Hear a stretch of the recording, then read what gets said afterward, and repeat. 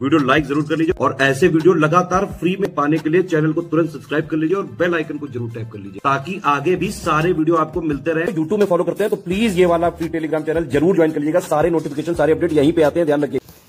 नमस्कार दोस्तों exam preparation में मैं प्रियंका एक बार फिर से आप सभी का स्वागत करती हूँ और डेली रात को नौ बजे आप लोग मेरे साथ प्रैक्टिस करते हैं जो कि टॉप फाइव हंड्रेड क्वेश्चन हम लोग सॉल्व कर रहे हैं। बहुत जल्दी ये सॉल्व होने वाले हैं। इससे पहले साइंस को कंप्लीट कर चुके हैं। आगे हम लोग जोग्राफी सब्जेक्ट स्टार्ट करेंगे। इसी तरह एक एक करके आप सारे सब्जेक्ट को मेरे साथ प्रैक्टिस कर सकते हैं। डेली हम लोग fifteen to twenty question solve करने की कोशिश करते हैं विद एक्सप्लेनेशन अगर आप इस चैनल पर न्यू हैं तो रात को नौ बजे डेली मेरे साथ आप प्रैक्टिस कर सकते हैं और दोपहर एक बजे वाली क्लास में आप जीएस सेक्शन कवर कर सकते हैं। अगर आप पेड कोर्स ज्वाइन करना चाहते हैं, क्योंकि आपको पता है, ये जो चैनल है, वो स्टडी फॉर सिविल सर्विसेज़ का ही पार्ट है। तो आप गूगल प्ले स्टोर पर जा करके स्टडी फॉर सिविल सर्विसेज़ का ऐप डाउनलोड कीजिए। जो भी कोर्स आप परचेज़ करना चाहते हैं, वहाँ पर आप ज्ञान सर कूपन कोड अप्लाई करेंगे और twenty percent flat twenty percent off मिल जाएगा आपको तुरंत आपके कोर्स पे। इसके साथ साथ और भी नए कोर्सेज और भी नई जानकारियाँ जो हैं, वो आपको ऐप पर ही मिलती रहेंगी। तो ऐप को ज़रूर डाउनलोड कर लें, आपके लिए काफ़ी हेल्पफुल रहेगा। इसके साथ साथ आप अदर कोई कोर्स ज्वाइन करना चाहते हैं तो आप इन पे व्हाट्सएप ये जो नंबर दिए गए, इन पे व्हाट्सएप या कॉल करके जानकारी ले सकते हैं। चलिए आज के प्रश्नों को स्टार्ट करते हैं। 440 प्रश्नों को हम लोग हल कर चुके हैं, आज उससे आगे के प्रश्नों को देखेंगे। तो आज का जो पहला प्रश्न है, इसमें कथन देखिए। वित्त आयोग के अध्यक्ष और सदस्यों की योग्यता का निर्धारण भारत के राष्ट्रपति करते हैं। इसका कारण दिया गया है, वित्त आयोग के अध्यक्ष और सदस्यों की नियुक्ति भारत के राष्ट्रपति द्वारा की जाती है। इस प्रश्न का उत्तर देना है, नीचे दिए गए कूट के अनुसार, और ये सारे ऑप्शंस आपके सामने लिखे हुए हैं। इनको देख करके सही उत्तर का चयन कीजिए। इसका सही उत्तर हो जाएगा ऑप्शन डी। कथन गलत है, किंतु कारण सही दिया गया है। वित्त आयोग के अध्यक्ष और सदस्यों की योग्यता का निर्धारण संसद द्वारा किया जाता है, न कि राष्ट्रपति के द्वारा। इसके अलावा कारण सही है कि वित्त आयोग के अध्यक्ष और सदस्यों की नियुक्ति भारत के राष्ट्रपति द्वारा की जाती इसलिए ऑप्शन डी राइट होगा। अगला प्रश्न है, वित्त आयोग के संबंध में कौन से कथन सही दिए गए हैं? पहला स्टेटमेंट है, इसे भारतीय वित्त संघवाद के नियंत्रक का कार्य करना होता है। सेकेंड है, इसमें एक अध्यक्ष और तीन से, अन्य सदस्य होते हैं। थर्ड है, आयोग के सदस्यों की योग्यता का निर्धारण राष्ट्रपति द्वारा किया जाता है। फोर्थ है, इसका गठन संविधान के अनुच्छेद 280 के उपबंधों के तहत हुआ है। इनमें से कौन से स्टेटमेंट करेक्ट हैं, ये बताना है। इसका राइट आंसर हो जाएगा ऑप्शन सी पहला और चौथा स्टेटमेंट करेक्ट दिया गया है। इसके अलावा इसमें एक अध्यक्ष और चार अन्य सदस्य होते हैं, इसलिए दूसरा स्टेटमेंट इनकरेक्ट है, यहाँ पर तीन दिया गया था। और आयोग के सदस्यों की योग्यता का निर्धारण संसद द्वारा किया जाता है, इसलिए थर्ड स्टेटमेंट भी रॉन्ग है। बाकी से भारतीय वित्त संघवाद के नियंत्रक का कार्य करना होता है, सही है। और इसका गठन संविधान के अनुच्छेद 280 के उपबंधों के तहत हुआ है, ये भी सही है। ऑप्शन सी राइट होगा। अगला प्रश्न है, भारतीय राष्ट्रपति के वीटो का अधिकार निम्नलिखित में से किन किन का सम्मिश्रण है? पहला है पॉकेट वीटो, सेकंड है एब्सोल्यूट वीटो, थर्ड है सस्पेंसिव वीटो, फोर्थ है क्वालिफाइड वीटो। इनमें से किन किन का सम्मिश्रण है इसमें? ये ऑप्शन दिए गए हैं, इन ऑप्शंस को देखते हुए आपको उत्तर देना है। इसका राइट आंसर हो जाएगा ऑप्शन डी इसमें पॉकेट वीटो, एब्सोल्यूट वीटो और सस्पेंसिव वीटो आता है। ऑप्शन डी करेक्ट होगा।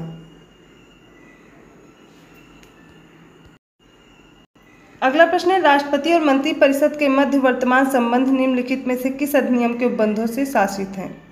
ऑप्शन ए है, forty second amendment act, option B है, forty eighth amendment act, option C है, फिफ्टी फोर्थ अमेंडमेंट एक्ट या फिर डी है, फोर्टी फोर्थ अमेंडमेंट एक्ट। इसका राइट आंसर हो जाएगा option D, forty fourth amendment act.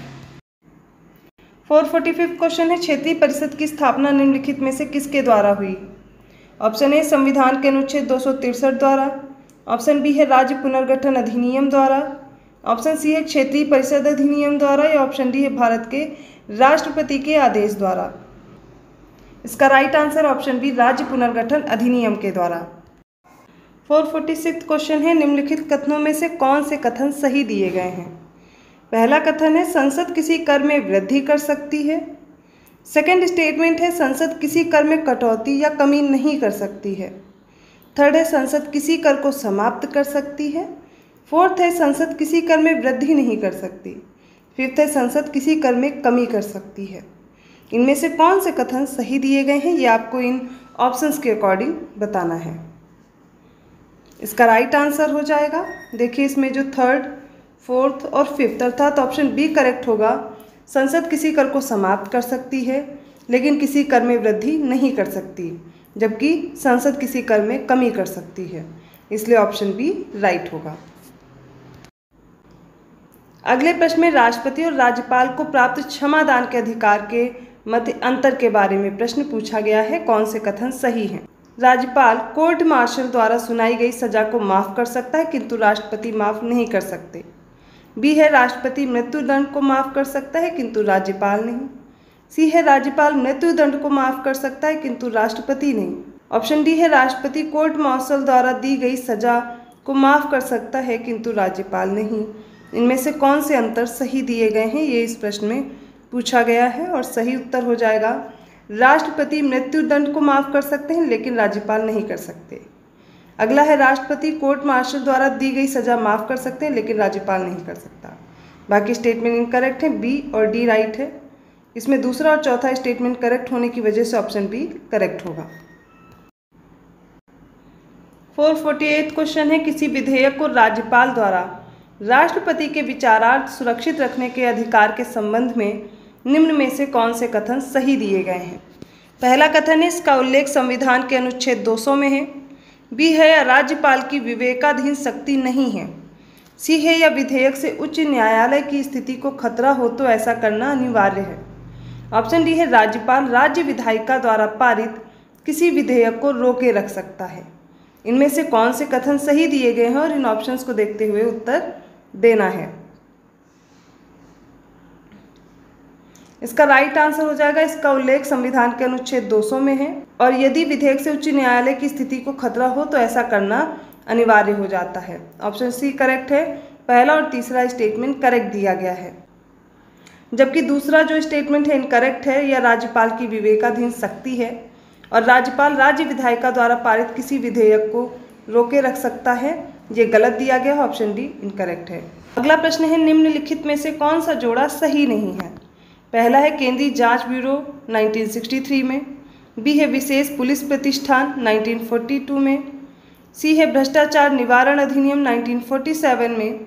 और डी है केंद्रीय सतर्कता आयोग 1964 में। इसमें कौन सा ऑप्शन है जो करेक्टली मैच्ड नहीं है, ये बताना है। इसका राइट आंसर हो जाएगा ऑप्शन बी।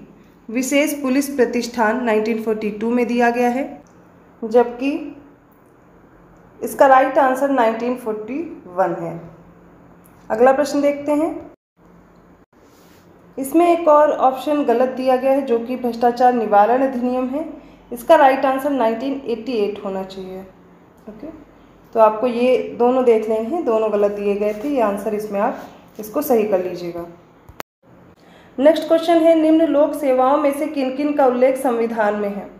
पहला है भारतीय प्रशासनिक सेवा सेकंड है भारतीय वन सेवा थर्ड है भारतीय पुलिस सेवा फोर्थ है अखिल भारतीय न्यायिक सेवा और फिफ्थ है भारतीय विदेश सेवा।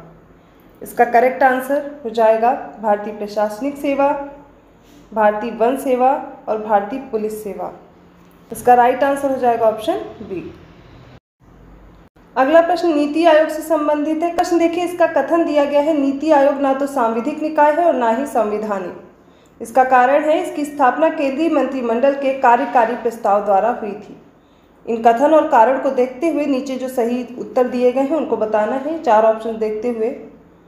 और इसका सही उत्तर हो जाएगा ऑप्शन ए ए और आर दोनों सही हैं और कारण ए की सही व्याख्या भी कर रहा है। अगला प्रश्न फिर से कथन और कारण का है। कथन दिया गया भारतीय संविधान लगभग संघीय प्रकृति का है। इसका कारण है इसके माध्यम से केंद्र सरकार को राज्य सरकारों की अपेक्षा अधिक शक्तियाँ प्रदान की गई हैं। कथन और कारण को देखते हुए सही कूट का उत्तर देना है। सही कूट बताना है कौन सा है, कौन सा कोड सही दिया गया है। इसका राइट आंसर हो जाएगा ऑप्शन ए कथन और कारण दोनों सही हैं और कारण कथन की सही व्याख्या करता है कि भारतीय संविधान लगभग संघीय प्रकृति का है क्योंकि इसके माध्यम से केंद्र सरकार को राज्य सरकारों की अपेक्षा अधिक शक्तियाँ प्रदान की गई हैं। फोर फिफ्टी थर्ड क्वेश्चन है। इसमें कथन और कारण दोनों देखिए और इनको देखकर सही उत्तर का चयन कीजिए।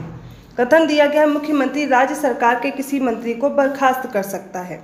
इसका कारण दिया गया है क्योंकि मुख्यमंत्री राज्य मंत्री परिषद का प्रमुख होता है। इसमें सही उत्तर बताना है। इसका राइट आंसर हो जाएगा ऑप्शन डी ए गलत है, किंतु आठ सही दिया गया है। अगला प्रश्न है, निम्न में से किस याचिका का प्रावधान भारतीय संविधान में नहीं किया गया है। ऑप्शन ए है प्रतिषेध ऑप्शन बी है परमादेश ऑप्शन सी है अधिकार प्रक्षा और ऑप्शन डी है निषेधाज्ञा। इसका राइट आंसर बताना है क्या होगा? सही उत्तर हो जाएगा। डी निषेधाज्ञा अर्थात इंजंक्शन जो है, वो भारतीय संविधान में नहीं दिया गया है। अगला प्रश्न है, उच्च न्यायालय से संबंधित प्रमुख अनुच्छेदों के संबंध में विकल्प चुन करके बताना है, कौन सा सही है? पहला है, आर्टिकल 215 इसमें बताया गया उच्च न्यायालय का गठन। बी है, अनुच्छेद 214 इसमें बताया गया उच्च न्यायालय के न्यायाधीश के पद पर नियुक्ति और नियुक्ति शर्तें।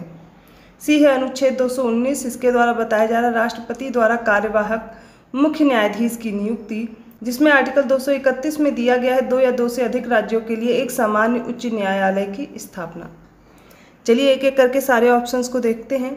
पहला दिया गया आर्टिकल 215 इसके अनुसार होता है उच्च न्यायालयों का अभिलेख न्यायालय होना। तो पहला तो गलत हो गया और उच्च न्यायालय का गठन दिया गया है। ये हो जाएगा आर्टिकल 214 में। तो ये से मैच कर दीजिए। तो दूसरा भी गलत हो गया आर्टिकल 214 गलत दिया गया है।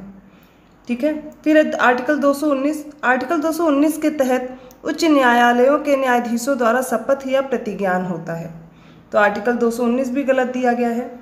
तो बचा कौन सा? चौथा, वही सही हो जाएगा। आर्टिकल 231 में दो या दो से अधिक राज्यों के लिए एक सामान्य उच्च न्यायालय की स्थापना का प्रावधान है। इसलिए ऑप्शन डी करेक्ट होगा। तो आज के पॉलिटी के कुछ इंपॉर्टेंट क्वेश्चंस आपने मेरे साथ सॉल्व किए। किसी भी क्वेश्चन में डाउट है, आप कमेंट करके पूछ सकते हैं। इसके अलावा इन क्वेश्चंस की पीडीएफ प्राप्त करने के लिए आप इन व्हाट्सएप नंबर या फिर इन नंबर्स पे कॉल करके आप जानकारी ले सकते हैं।